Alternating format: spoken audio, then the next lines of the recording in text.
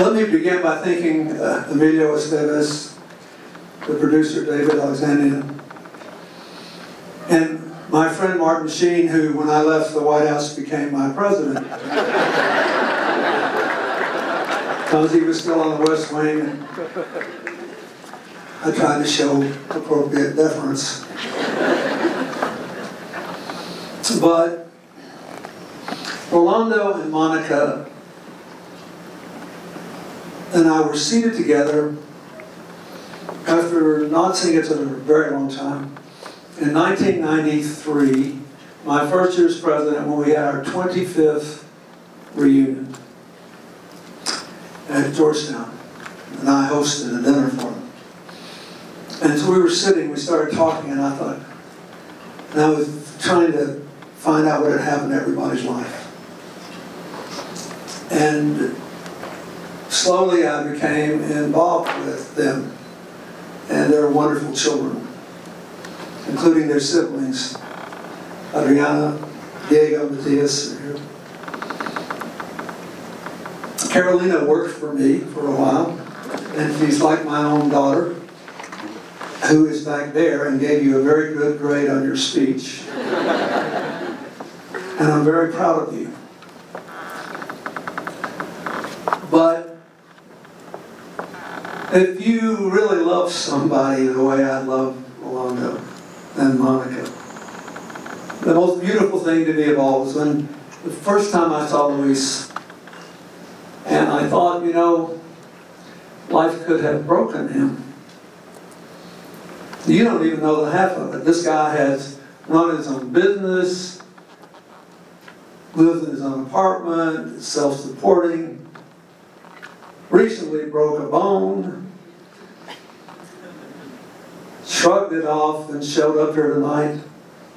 And is the only person, I think, I know he was the first person, ever to cross Spain through the power of his arms and his heart.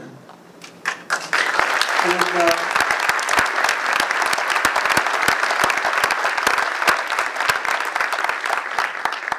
when we think of courage, we normally think of somebody who does some big, brave thing, risks his or her life in the moment of supreme challenge. But I think maybe it takes more courage to get up every single day and live with a problem hardly anyone else has and just decide you're still going to be a winner. You're still going to go on. You're still going to make a difference. You're going to find something to be happy about and you're going to try to do something for someone else and not be obsessed with life, what life has taken away from you, but to be grateful for what you still have. That's this guy. He is a very brave, person.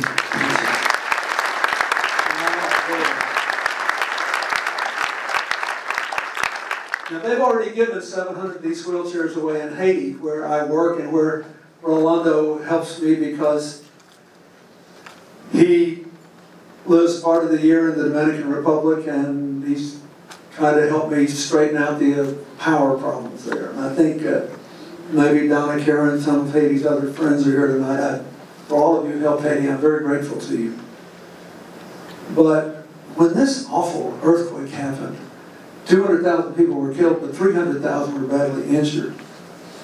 You may remember that without any power, they were doing surgery in the middle of the night using vodka for anesthesia and having to saw off limbs to keep people alive.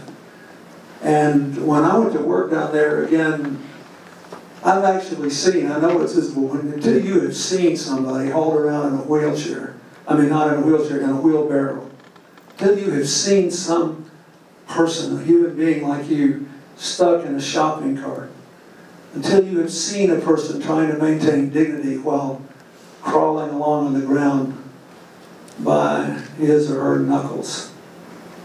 You can't imagine what this little chair will do for 300 bucks. It's very sturdy, and I think of practical things.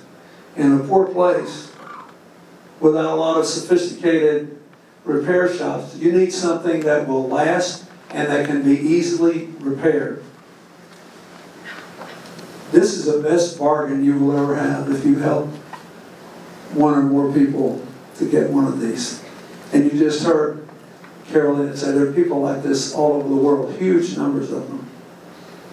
I spent my, a lot of my life trying to help get AIDS medicine, malaria medicine, access to education, help farmers grow crops better. It's all irrelevant if you're paralyzed or otherwise immobilized and you don't have a wheelchair. So I thank the people who made this beautiful movie. Rolando has convinced me that I need to make this trip with him. He at least rides a bike. If I can get to where I'm in good enough shape to ride a bike over there, maybe we'll do it. But I want you to know you've done a good thing tonight. And when you see Luis, just remember, there are people like him who don't have parents like his, who don't have siblings like he does, who didn't have 18 years to form their own dreams. But they can still make something of their lives, and in so doing, make ours better. And the fact that this is what they're giving their lives to, I think, merits our support. So I thank you for being here. Thank you again, Martin. Thank you, Emilio, for making this movie. And thank you, all of you, for making my life so much richer, especially you. God bless you all.